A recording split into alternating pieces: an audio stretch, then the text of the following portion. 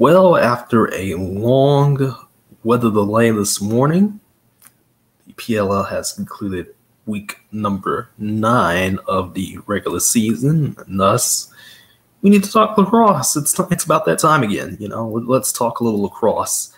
Um, the MSL semifinals are going on. Game four of Six Nations, Cobourg and Peterborough, Brooklin. Um, they'll be they'll be both tonight and Tuesday respectively. Both these teams are probably going to the MSL finals. Let's let's just be real. Um, the WLA, the semis begin on August the 6th. Victoria, who is undefeated, will take on New Westminster, and Maple Ridge will take on Langley. Um, in the OJLL finals, Orangeville is currently leading Mimico two games to none. In the BC finals, of course, both teams get to go. Coquitlam hosts the Midfield this year, so but the Adanacs lead Poco two to nothing in their best of seven series. The Art in the Rocky Mountain Lacrosse League, Calgary is leading Edmonton two games to one in their seven game series. Now the NLL, their free agency has been delayed with Panther City on the verge of either being relocated or they're folding. One or the other. It looks like the team, you know, in Panther City is like, yeah, it's just not working out. That at least that's what has been, you know, kind of stated. Now the team could move from anywhere. I've heard, you know, I've heard, you know, Allen, Texas, which is not ideal for me because who wants to go to Allen, Texas for a game? I mean, come on. But you know, Montreal's been thrown around. Other places have been thrown around. Again, the team could just fold, but um, again, this is similar to um, New York's time, you know, the Riptide's time in Long Island. It just did not work out. The fans were not coming to games. When I went, there were definitely, you know, when I went to that San Diego game back in, I want to say it was February or March, it was one of those days. Uh, when I went to that game, it was definitely less than a thousand people there. Like, it's just like they had a very high, you know, 5,000 fans like their first game Panther City did. But every ever since then, the marketing has not been there. The, you know, of course, you know, the team was on, you know, Bally Sports, you know, which, you know, as we all know, Bally Sports is, you know, kind of dead, you know, as far as local deals go. So, you know, that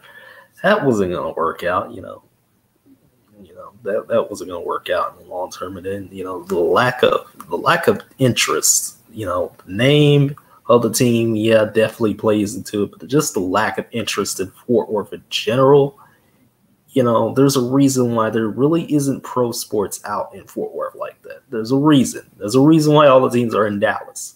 They're in Dallas, not not Fort Worth. They're they're, they're all here, not over there in Fort Worth. You know, Fort Worth is kind of cumbersome to get around you know, because especially it's like it's a lot of areas over there that is just like completely unknown. Like you know, when you come to Dallas, you come when you come down to Dallas, you know, Frisco's a tourist trap. Of course, we all people from here, or at least people that know this channel know that I think Frisco is a tourist trap. Like Plano, Plano's a thing, Richardson's a thing, Allen's a thing because of that big old high school stadium and everything like that. Like you know, all the Dallas suburbs and everything like that. All that makes sense. Everybody knows, you know, what that stuff is. But like Fort Worth, does anybody really care?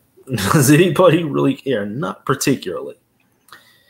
So, in any case, I think I think what should happen is Panther City moves to like Montreal, you know, you know, because of the way the Montreal game went for the NLL last year, or really, or rather this past season. You know, I really think that would be better. But the team could just fold, or again, move. You know, you know, somewhere else in Texas. You know, these are the same guys that own the Dallas Wings and um, I think like an Oklahoma City hockey team, like a minor league hockey team or something like that. So I, I don't know, man. I don't know how I feel about it. Uh, again, I, I am personally, personally, I'm feeling like this was kind of inevitable. Same thing, you know, that happened to New York going to Ottawa. And they have nice jerseys that got revealed, by the way, a couple days ago. I, I, I honestly, you know, I'm glad I got to go to a box lacrosse game. I'm so happy I did. I'm so happy I did that this year if I were never if, if Dallas never gets another team again, you know, I'd be pretty disappointed. But it happens. It happens in, in the lacrosse world. You know, Dallas just, you know, has lost team after team. You know, PLL didn't come here this past year. You know, they're not coming maybe next year, I hope, so I can get and see, you know, the field lacrosse, you know, boys play field lacrosse, you know. But yeah, PLL right now, again, we have just a couple weeks left in the regular season. And again, um, basically the Eastern Conference playoffs are clinched. They're they're they are clinched. They're locked in. California is two and six. In Philadelphia got eliminated due to not only them losing in one of the worst efforts I've ever seen from a very talented team. Like this is like the Atlas teams of a couple years, the past couple years. Like just, just ugh. The they were down eleven to nothing with six and a half minutes left the third quarter. Do you know how terrible that is to go thirty minutes in a game without scoring? You know how terrible it is. You know, you know how talented that, that the team is with Hannah, with with with with Michael Sowers Matt DeLuca, you know, is struggling in cage, you know, because the offense can't do anything. So it's crazy. New York, Boston, and Maryland should clinch. Maryland, I believe Maryland has clinched the playoff spot at this point, you know, because by virtue of Philadelphia being eliminated, they've clinched a playoff spot probably. Again, top six teams go. And so, I mean, really, you know, there's really no point in talking about the PLL playoff race because we all know that, you know, I guess for the purposes of seeding, that's about it. You know, like the New York, Boston tandem, and then you know Utah, Denver, Carolina on the other side. You know, of the bracket. But I mean, there's still time for the California Redwoods to catch up again. Some teams like Maryland only have one game left over the next couple weeks. Like Maryland gets that last week off. Others, you know, have two or more. And it's going to be interesting to see how Brennan O'Neill and that Outlaws team, you know, continues to do. How you know can Rob Pannell and the and the California Redwoods, you know, kind of dig themselves out this hole because they got blown out today. Or rather, they got blown out yesterday before that game got you know delayed and it inevitably canceled due to lightning. It was eighteen to five, just disgusting, you know, type game. I mean, and then of course New York, really good. Boston, really good. You know, I mean, what can you say when you have for New York when you have the points leader Jeff Teat, Connor Shellenberger, um, you know Dickson. I mean, just just just boot to brat, boot to ass. You know, Trevor Baptiste, of course. I mean, and Boston's really good too. You know, again, the PLL this year. You know, there's been some pretty good games. There's been some pretty good games that I've seen. It's pretty, some pretty good games. There's been some ugly ones, you know, like the last couple, you know, that I've seen on television that, you know, have been bad. Of course, again, though, the delay today, you know, caused the caused the most A- ABC affiliates to see Big Boy Blaze Riorden get that get that you know coast to coast goal all over again. So yeah, my thoughts on the PLL right now are kind of like, you know, everything's going pretty good, pretty good. I'm, I'm liking, you know, I'm liking the lacrosse being played.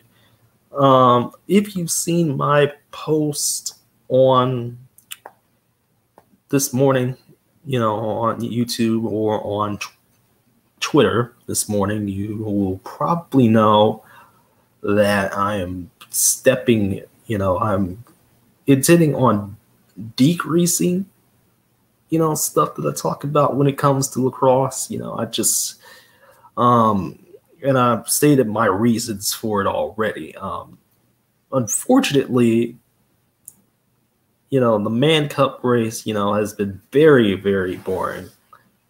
You know, it's just not fun to talk about. Like again, this is just inevitable at this point. We will get a we will get a Six Nations Peterborough final, and then more than likely it will be Victoria on the other side for the Mann Cup. Which I mean, that's nice and everything like that, but I'm hoping that the, that that gets. I'm hoping that the games get live streamed on YouTube this year. That's what I really want. Like I would watch the Mann Cup if the games were live streamed on YouTube or you know somewhere where people can see it. If it was like you know, like Ontario lacrosse, you know, got you know TSN on and said, "Hey TSN, can we get our games on your network and everything like that?"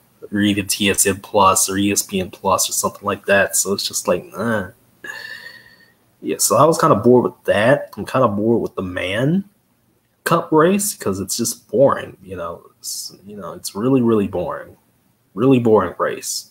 You know, I get it. All the all the NLL guys that aren't in the PLL are here in the MSL or the WLA.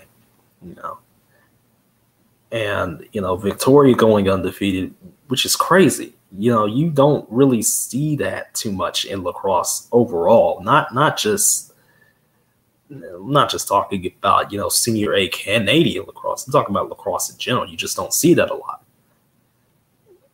Like i'm kind of i'm kind of just uh, you know langley got in at eight nine and one you know because there's still ties in lacrosse for some reason then the Minto Cup race has been an absolute disaster, you know, PR wise, you know, because the Rocky, let's face it, the Rocky Mountain, you know, really this or the Calgary Edmonton matchup really should have been, you know, the matchup all along, you know, but they had to do, you know, a first round first, the other two teams. And it's like, why?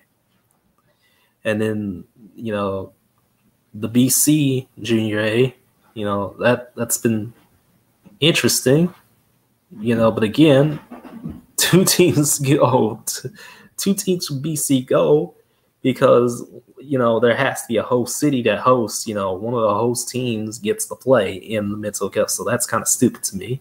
You know that you would think you would think that you know, hey, three champions. We have three champions of three different leagues, and so you know we can do like a we could do like a um, I don't know, like a round robin or something like that that could determine a champion, or you know, I don't know, man. I don't know. I, am just making up scenarios, but they have to have a fourth team in there to make it kind of you know make the round robin play before the actual Minto Cup final a little, I guess, a little bit more interesting. But I'm just not vibing with it anymore. Um, and the OJLL has just been controversy after controversy this year, just unprofessional nonsense you know, and I get it. It's junior A, and these guys really aren't paid, you know, technically. And It's just, it's just, and it's been hard to follow. Like Rocky Mountain, can you find the, can you find the league on YouTube at all? No, not really. The OJLL, can every game be streamed on YouTube? No. What about BC? Am I really interested in watching BC? I, uh, you know, I've just been there's just been a lack of interest for me in general talking about Canadian leagues. You know, I've just been very disinterested because not only have the races for the Mann and the Minto been kind of mid, but the way the way the play has been has just not been up to par for me. It's just it's just genuinely this interesting. And I get the benefits of it. You know, you have Joey Spallina, you know, up in Orangeville, probably going to win, you know, an OJL chip and go to the Minto Cup and play for a Minto Cup. But am I invested anymore? Not really. I'm, I'm, far more invested in whatever the hell the NLL is doing to solve the Panther City situation. I'm far more invested they'd laughing at the Philadelphia Waterdogs for missing the playoffs. That's what you get for going to Philadelphia. That's what you. That's what the PLL gets for putting the team in Philadelphia. Putting the team I was a fan of in Philadelphia. No, I'm just playing. I'm just playing. But yeah, though, uh, um, I don't even know what to say at this point because it, it's it's been a weird year. I'm, I, I thought I would be way more interested watching way more lacrosse, you know, but it's like there's just too much on my plate here when it comes to talking about the sport. It's just too much on my plate, and I, I just don't feel. I feel like this. I feel like the senior and junior A Canadian box is. It's supposed to be good, but there's still stuff holding it back, you know, from making it, you know, as good as the NLL is for me. You know, there's still stuff holding it back, you know, with the all sorts of organizational differences and nonsense like that. You know, the whole beaches situation for pretty much a, good chunk of the season. Just how? And I get it, the beaches got promptly, you know, beaten because they were really a regular season team, but at this point, I'm just I'm just kind of over it. You know, it's been hard to watch DMSL when they do put the games on YouTube. When they do try and live stream it, they'll have the Rogers TV broadcast. You know, right after the game, which is kind of inconvenient because you know it's a game that already happened. I don't want to watch it again. Yeah. Or rather, I don't want to watch it now because it's a game that already happened. You know, I don't want to watch a game that's just been put up for the sake of being put up. You know and it was a live stream. So, and the WLA, you know, still has paywall. So, yeah. So that's kind of that's kind of how I'm feeling. We're just going to talk about NLL, PLL, college, and world. You know, at least field and box for the world. Not doing sixes, of course. Not talking about Olympic sixes either. Not talking about that nonsense. Don't really want to talk about the PLL Championship Series, but I'll have to mention it at some point. You know, know I mentioned it. So for me to you, that's going to be do it. Um, I know a lot of people have been watching that interview I did with Arena Football Nation yesterday.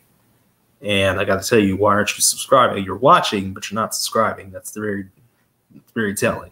So if you're a lacrosse fan and you want to sound off the comments and tell me how wrong I am probably about, you know, the way I'm talking about a Mann in a Minto, just sound off for me. I don't really care. I, don't really hear if you sound off on me. Um, maybe try and rope me back in. But for me to you, that'll do it. And I'll see you all on Tuesday morning to talk about this week in football because we got a doozy of uh, things to talk about. So take care. See you soon.